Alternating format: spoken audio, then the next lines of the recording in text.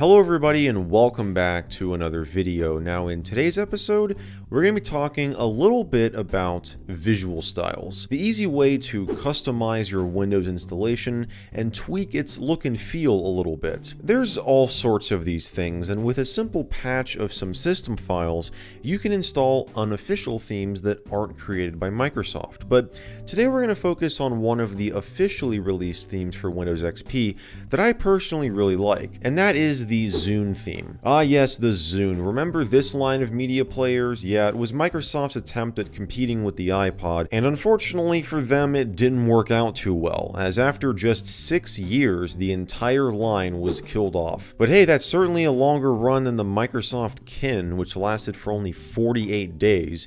I talk more about that in this video up in the cards if you want to go check that out. But yeah, the Zune is considered a failure, and it's something that we may cover in a future episode. Today, though, we're going to focus on one of the ways that Microsoft promoted their new line of MP3 players, and that was with a free downloadable theme for Windows XP. Now, like all official XP themes, except for the classic one, it is based around the Luna visual style, but it brings a completely different color scheme to Windows, and is designed to fit in with the Zune's design language and it's honestly the closest that we ever got to a dark mode for Windows XP, at least officially. Now I've used this theme in a few of my videos and some people have asked about it. Maybe you've seen it before but didn't know it had anything to do with the Zune, and some people have wondered if you can even still get the thing today. Well, you can. I've actually uploaded a copy to the Internet Archive, and I'll have the link down below if you want to go and try this out. But uh, yeah, in today's video we're going to be checking it out. I'll be showing you how to install it, which is a very straightforward process, and we'll be seeing how it compares to the regular Luna theme that comes with Windows XP. So this is the file right here that you download, and just to show you, if we go into Properties here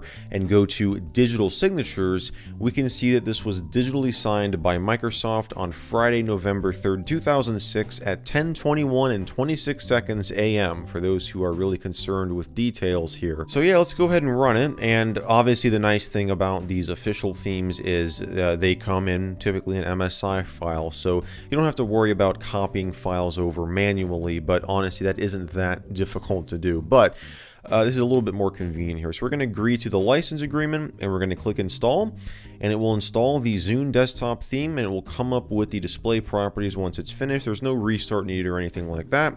And here it is. So we're just going to apply the theme and boom, there you go.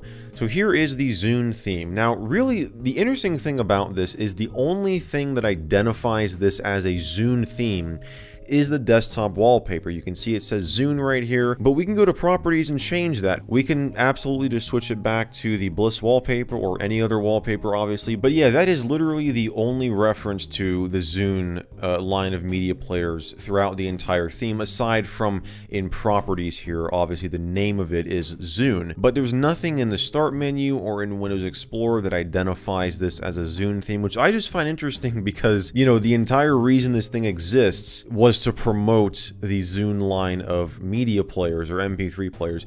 So I find it interesting that Microsoft didn't really brand this with, like, for example, a Zune logo down here, but maybe most people wouldn't really like having a Zune logo in Windows Explorer. Also a neat tidbit is this was the very first official theme from Microsoft to change the color of the start button down here.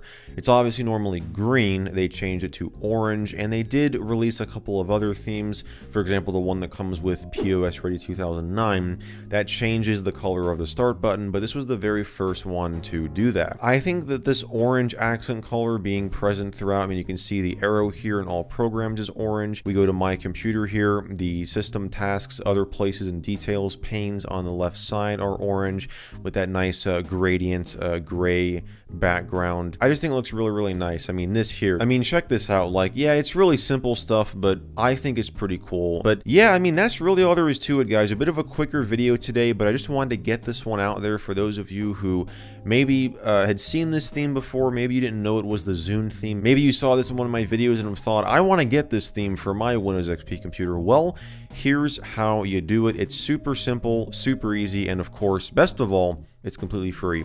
So if you guys enjoyed this episode, if you want to see more like this, definitely be sure to give this one a thumbs up. Be sure to get subscribed down below and turn on those channel notifications if you haven't already to get notified whenever I upload a new video, which I do multiple times every single week on this channel.